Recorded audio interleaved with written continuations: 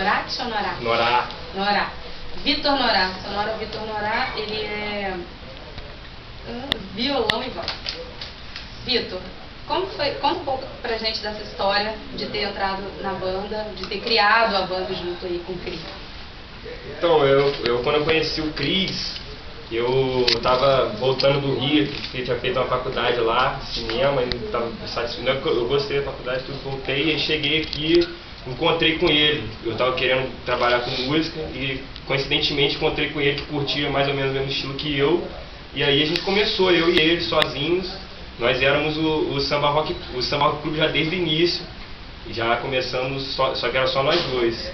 Aí, enfim, aí depois começou a agregar um monte de gente e a gente foi mantendo o nome, a gente só mudou o rock do, do samba rock, a gente fez uma, uma identidade, botamos uma coisa mais brasileira, assim, mas é, só nossa, né, mais particular, que é com que eu é.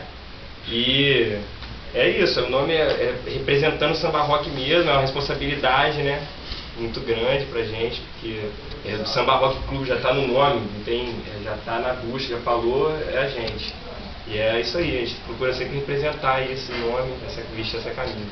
Tá ok, obrigada. Nada.